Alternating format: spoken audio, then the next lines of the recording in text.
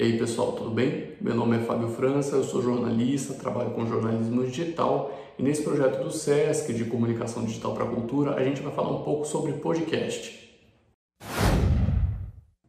Um podcast é basicamente um programa de rádio, só que com a vantagem de que você carrega ele no seu bolso, no seu celular ou pode acessar do seu computador. Você não precisa sintonizar naquela estação, naquele horário em que ele é exibido, senão você perdeu.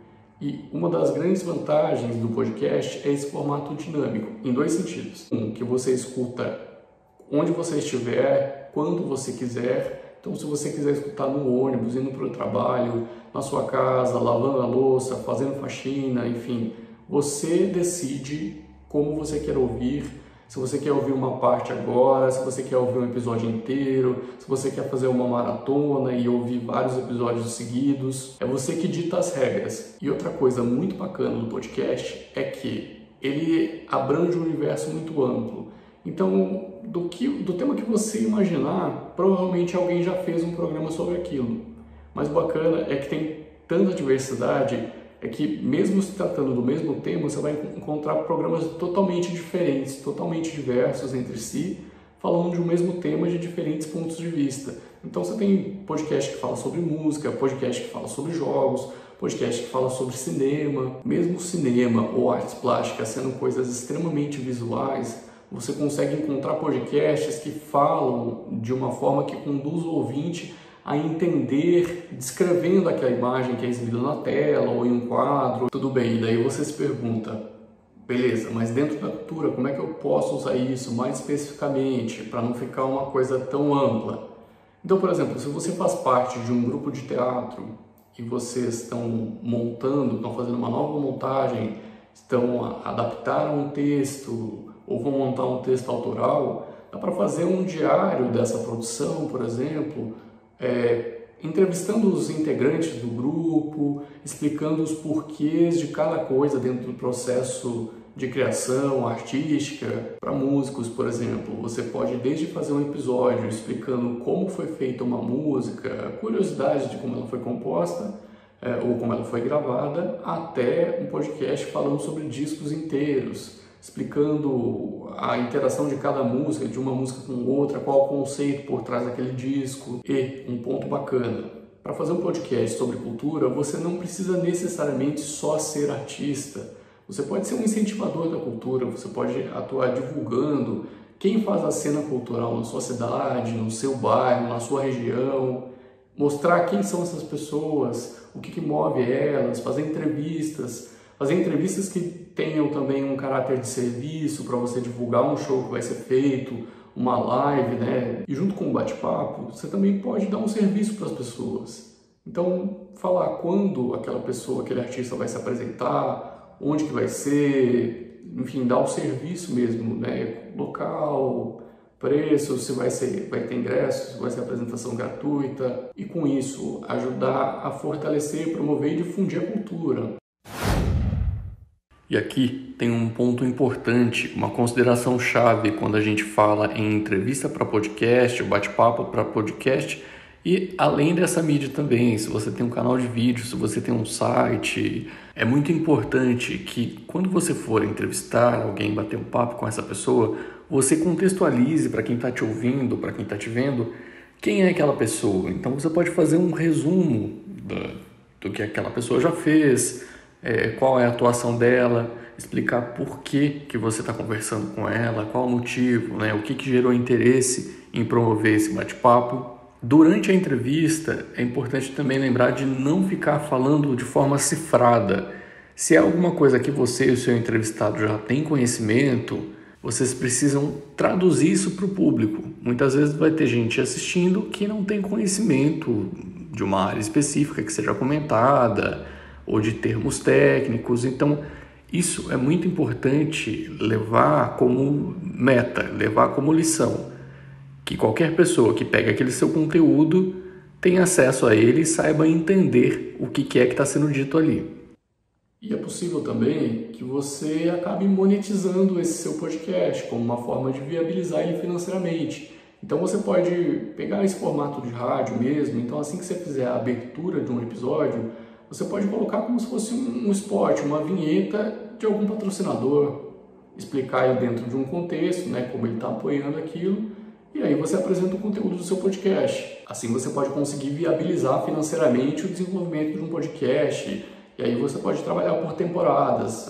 Essa temporada vai ter 10 episódios, 15, enfim quantos você achar viável fazer com os recursos que você tiver. E mesmo a gente falando de podcast, que é essencialmente áudio, existem recursos criativos que você pode se aproveitar deles para deixar o seu podcast mais interessante, arranjar formas de descrever aquilo para o ouvinte, mesmo sendo uma coisa essencialmente visual, e com isso acabar trazendo um podcast diferente. Então cabe a quem vai fazer se abastecer de referências bacanas de podcasts que tenham esses recursos, enfim, ou adaptações que você consiga fazer para deixar o seu podcast diferente, criativo. E qual o primeiro passo para você criar o seu podcast? A gente vai começar pelo roteiro.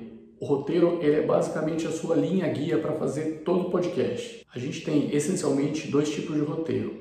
Um roteiro mais descritivo, que ele vai estar tá realmente escrito ali tudo que vai ser lido durante o podcast. Geralmente esse tipo de roteiro ele é muito útil para podcasts de storytelling, de contação de histórias. Então nele você tem um, um texto que vai ser lido, que vai servir de guia para o ouvinte e que com, a partir dele você pode ir ambientando coisas, sonoridades, climas dentro daquele áudio para trazer o, ouvinte para dentro do universo daquela história que você está contando. Então, por exemplo, um escritor, seja de poesia, de crônica, que tenha algum texto que se passe em um ambiente urbano. Conforme ele vai narrando, contando a história dele, se ele colocar sons assim, o ouvinte vai se ambientando mais numa grande cidade, associando aquilo com uma cena bem urbana, então são recursos assim, por exemplo, que podem ser adaptados, escolhidos, para que você consiga contar a sua história com o máximo de imersão possível dentro dessa ferramenta do podcast. A gente vai conhecer agora alguns podcasts que têm como proposta essa contação de histórias. A gente vai colocar alguns trechinhos só, coisa bem curta, mas para você conseguir visualizar melhor como funciona um podcast desse tipo. Salve! Agora vai. Salve Douglas! Amarelo, o filme invisível. Parte 1. Você provavelmente sabe que no início o cinema era mudo e sem cores. As imagens reproduzidas traziam trens em movimento, um jardineiro trabalhando, homens jogando cartas, pessoas em uma barca passeando, coisas que talvez você visse se abrisse a janela da sua casa. A intenção dos Lumière, os inventores do cinematógrafo e responsáveis pelo florescimento dessa tecnologia, era a simples reprodução da vida em movimento.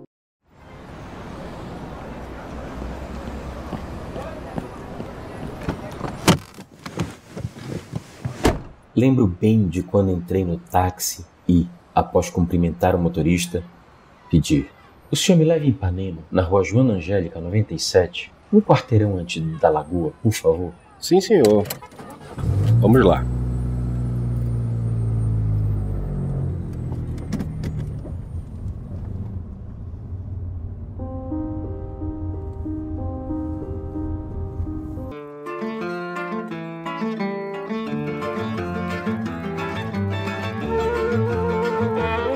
Estamos no início do século XX. Uma grande multidão saída das mais diversas regiões da cidade do Rio de Janeiro parte em direção à festa anual de Nossa Senhora da Penha.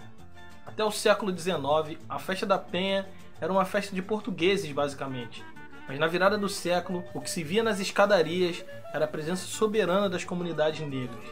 A população negra chegou à festa como prestadores de pequenos serviços como as quituteiras que vendiam doces e outras delícias da culinária de rua. Uma coisa muito importante nesse tipo de podcast é que não tem problema se o ouvinte perceber que você está lendo aquele texto que está sendo dito. Porém, é importante não ser uma leitura mecânica, tudo sempre na mesma entonação, tudo com, o mesmo, com a mesma característica. É legal você colocar uma interpretação naquilo para que não fique monótono, para que você consiga conduzir quem está ouvindo pela sua trama. Já outro tipo de roteiro, ele é baseado em tópicos. Então você não precisa detalhar muito o que vai ser falado durante aquele podcast, mas é importante você deixar nos tópicos para estruturar e para você não se perder a partir do momento que você liga o microfone. Geralmente esse tipo de podcast ele tem um clima bem descontraído, é basicamente como se fosse uma conversa. É um exemplo, se você tem um disco sendo lançado que foi todo feito em parceria entre dois músicos, as composições ou as gravações, enfim. Uma possibilidade é uma conversa entre eles explicando como eles decidiram fazer o disco, como surgiram aquelas composições, o que, que moveu eles a, a fazer elas. E isso, para quem está ouvindo, se for em formato de uma conversa, é muito mais interessante para o ouvinte, porque ele pode se sentir parte daquela, daquela conversa, daquele papo. Mas esse roteiro de tópicos, ele não está ali para te engessar, ele está ali para te ajudar e te guiar, para que você não se perca no processo e que o resultado final saia melhor, saia mais afinado, cumprindo os objetivos que você imaginou quando você pensou em fazer aquele podcast. Vamos conhecer agora alguns exemplos desse podcast em formato de bate-papo.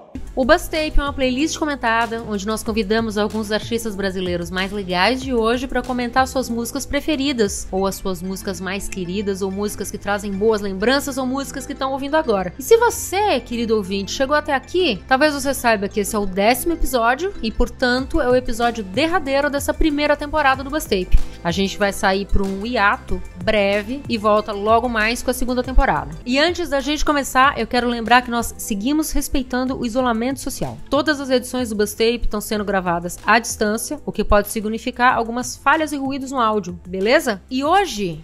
Ah, então, hoje eu falo Bicho, eu não consigo nem dizer o nome de tanta emoção. Hoje eu falo com a Lineker. Oi, Lineker, tudo bom? Que prazer enorme ter você aqui com a gente hoje. A gente está tentando armar essa desde o primeiro episódio do Bustape. Acho que o seu nome foi o primeiro nome que apareceu. E esse é o último episódio da temporada, o décimo. E que legal que é com você, porque o seu nome apareceu também ao longo de várias gravações. A Mamundi, a Carol Conká, a Larissa Luz falaram de você. Então acho que você é a pessoa certa para estar tá aqui com a gente hoje. Oi, Gaia. Oi, gente, tudo bem? Eu fiquei muito feliz por esse convite, fiquei muito feliz de ter, de ter sido citada também por essas outras artistas que eu admiro e gosto tanto e tenho tanto carinho assim e amor. Então, muito bem, a gente está aqui para falar sobre literatura e ditadura. E a gente decidiu tratar desse tema, que está mais atual do que nunca, a partir de um lançamento que trata justamente de episódios que aconteceram na ditadura brasileira. Não custa lembrar que em 1964 aconteceu um golpe de Estado no Brasil e se instalou uma ditadura militar que durou até o ano de 1985. Esse período histórico, ele é um período também de uma literatura muito fértil e, no entanto, continua a repercutir nos dias de hoje na literatura contemporânea, né? Então eu convidei aqui para conversar com a gente o Bernardo Kucinski. Seja bem-vindo, Bernardo ao nosso podcast. Eu que agradeço o convite para participar nesse debate aqui sobre literatura e ditadura. O Bernardo é um autor que foi descoberto tardiamente, né? Depois de uma longa carreira no jornalismo e na política, ele se tornou um escritor de sucesso. Quanto mais bagagem como ouvinte você tiver, maiores as chances de você fazer um produto mais legal. Tudo bem, você estruturou o seu roteiro, você já sabe que tipo de podcast você quer fazer. E agora, como gravar? O seu celular é o seu melhor amigo quando se trata de podcast. Primeiro porque você não precisa necessariamente comprar um microfone dedicado ou aparelhos super caros, enfim, para fazer podcast. Nele você pode fazer tudo. Você pode fazer a gravação do podcast, você pode fazer a edição do podcast e publicar o seu podcast. Você pode gravar ao vivo, colocar o celular no mesmo ambiente que você estiver com a pessoa, com o seu entrevistado. É claro, enquanto perdurar a pandemia, tomando os cuidados de distanciamento social cabíveis e em um ambiente silencioso ou com menos de ruído possível, porque isso vai ajudar o seu podcast a ter uma qualidade de áudio melhor. A internet é sua melhor amiga, principalmente na hora de fazer entrevistas com pessoas que estão longe ou para respeitar o distanciamento social. Então você tem ferramentas como o Skype, por exemplo, que te possibilita bater um papo com a pessoa, inclusive vendo ela, e você gravar aquilo. Depois você baixa e pega só o áudio para você aproveitar no seu podcast. Uma coisa importante na edição é que não precisa entrar tudo aquilo que você conversou necessariamente. Teve algum momento com alguma pausa muito longa, você pode tirar, porque aquilo de fato não vai interessar para o seu ouvinte. Então você, você seleciona, faz o filtro do, do melhor que tem naquele conteúdo que você produziu. Você pode usar o seu celular falando no seu ambiente ou pode pegar um fone de ouvido, desses que geralmente vem com o celular mesmo, que tem um microfonezinho para você falar, e usar ele. Na hora que você for gravar, só toma cuidado para não ficar muito próximo da boca, porque às vezes aqueles os sopros que você dá incidentais acabam atrapalhando na qualidade do áudio. Se tiver um gravador dedicado também, melhor ainda, mas ele não é essencial para que você faça seu podcast se você não tiver disposto ou disposta a investir muita, muito dinheiro para fazê-lo. E ainda tem uma outra possibilidade que é, se as agendas estiverem difíceis de casar para você fazer um bate-papo em tempo real pela internet ou ao vivo, você pode ter uma conversa por áudio, por aplicativo de mensagem, seja o Telegram ou WhatsApp, e acabar extraindo aquelas respostas para o seu podcast sem nenhum problema. Geralmente os celulares já vêm com aplicativos padrões de gravação de voz. Caso o seu não tenha vindo, você pode entrar lá na loja de aplicativos e escolher algum. Geralmente tem gratuitos que gravam bem e fazem um bom trabalho. Em ambientes profissionais de gravação de áudio, existe um filtro chamado Pop Filter. Qual é a função dele? É evitar pequenas explosões, pequenos sopros que a gente acaba soltando incidentalmente quando a gente fala palavras com T, com B, com P. E uma possibilidade de adaptação dessa função sem gastar dinheiro, o que você pode fazer na hora que você for gravar com o celular é localizar a área onde fica o microfone do seu celular e colocar uma meia em volta. Se você quiser, você pode prendê-la com elástico ou simplesmente colocar ali em volta. Então, além de você tomar cuidado para não falar tão próximo do microfone do seu celular quando você for fazer a sua gravação, o bacana é que essa meia, servindo de pop filter adaptado de uma forma caseira, ela vai te ajudar a ter uma diminuição desses sopros incidentais que podem acontecer durante a gravação. Na hora de fazer a sua gravação, se você tiver um microfone ou mesmo se quiser usar o celular, fazendo uma outra técnica, uma possibilidade é você fazer um difusor caseiro. Um difusor, ele está ali para melhorar a acústica no momento da gravação vai ser diferente de um difusor de um estúdio profissional de gravação, mas ele já dá para quebrar um galho. Então, para fazer um difusor caseiro, você consegue fazer com um balde plástico, você serra ele pela metade, como se fosse uma meia-lua, coloca fita dupla face no interior dessa parte que você vai usar para fazer o, difusor e você coloca ali é, espuma. Essa espuma ela vai ajudar a dar um tratamento acústico na hora que você for gravar. E uma dica bacana, na hora que você for editar o seu áudio, usa fone de ouvido, porque assim você consegue prestar atenção nos detalhes da sua gravação para botar a mão na massa, aprender na prática como é que a gente vai montar esse podcast. A gente vai conhecer duas ferramentas. Uma delas é o Anchor, que é um aplicativo que tem para Android e para iOS,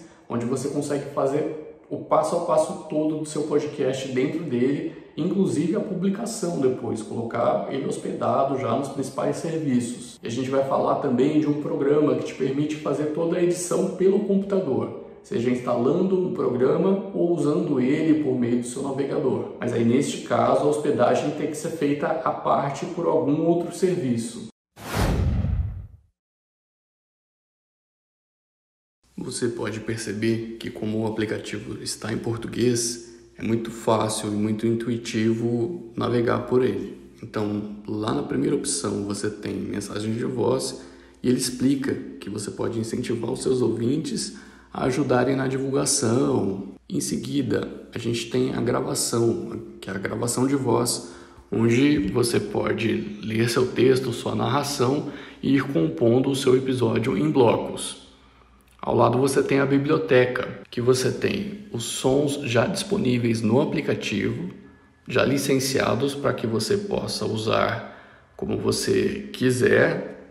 Você pode ver que essa parte ela está em inglês, mas na verdade se você não souber inglês não tem nenhum problema, porque é só a sinalização de qual é o clima da música, do som. Então você vai testando e vê qual se adequa melhor ao seu podcast.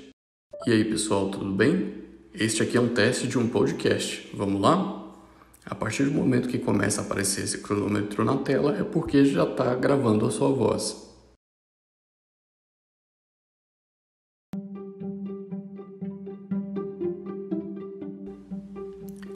Logo em seguida, eu quero que a minha frase seguinte já seja acompanhada de uma trilha para que o ouvinte entenda que o podcast está começando. E é isso que a gente vai fazer agora: inserir música nesta gravação aqui.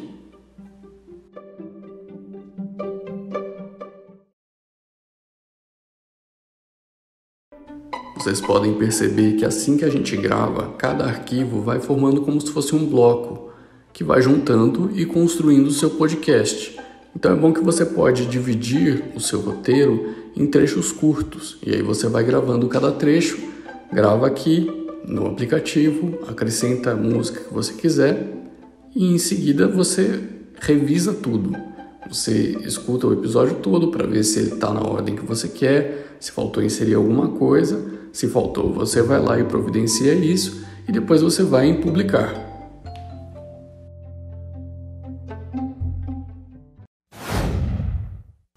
Já o Audacity, que é o programa que você pode instalar no seu computador ou usar ele numa versão via navegador, como uma extensão do Google Chrome, ele tem uma interface que lembra muito outros programas de edição de áudio. Você tem ali em cima o pause, o play, o stop, o botão de volta, o botão de avanço e o botão de gravar. Aí, logo ao lado, você tem as ferramentas. Você tem, por exemplo, a ferramenta de seleção, que ela é bem útil, é um uso recorrente. Ao lado, você tem ainda microfone, volume. Inclusive, você pode já gravar o seu áudio direto no programa, sem precisar gravar em outro lugar para poder transferir para o computador. Você decide como você quer gravar, se já vai direto ou se você importa de algum lugar. Para importar é simples, você vai ali em cima em arquivo, importar é bem prático. Você pode também excluir os espaços que ficam com silêncio, você pode é, silenciar eles, ou seja, indicar para o programa ignorar eles, você pode também apertar o delete e deletar esses espaços. Aí você vai montando seu podcast de acordo com a estrutura que você planejou. Você pode, por exemplo, adicionar uma música para deixar tocando de fundo, você pode pegar ela em algum banco de som gratuito é, e você pode controlar o volume que ela vai tocar. Isso aqui é mais para dar uma ideia para vocês de como pode ser usado o Audacity, mas é uma visão geral do que o programa pode fazer. É bem básica e se você quiser se aprofundar, tem diversos tutoriais mais complexos na internet para você desenvolver suas habilidades dentro do programa. Mas com essa base você já consegue ter uma ideia melhor, visualizar melhor se para você é mais adequado fazer o seu podcast em um programa de edição tradicional ou se é melhor fazer num aplicativo de celular que vai te dar algumas opções mais práticas, mais prontas, e no outro você tem possibilidade de customizar, desde que você aprenda a utilizar a ferramenta. Bom, depois que você fez todo esse processo no computador de edição pelo Audacity, algumas possibilidades para você hospedar o seu podcast são você usar o SoundCloud, que é um serviço de áudio na nuvem, onde você pode incorporar dentro do seu site também. Você pode hospedar no Castbox, que ele também te oferece possibilidades para você divulgar o seu podcast. E você também pode subir uma versão para o YouTube.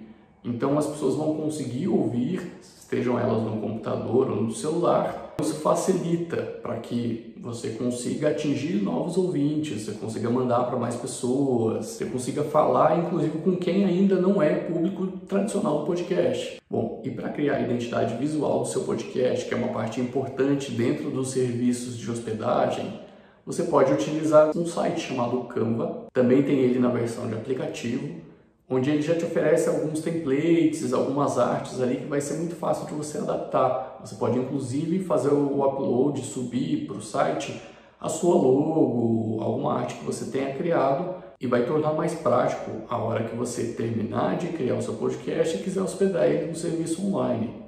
Ele vai ter uma carinha própria, ele já vai ter uma identidade. Isso é muito importante, ele ajuda a atrair ouvintes para o seu produto, para o seu podcast. Então tem que dar uma caprichada na capinha também.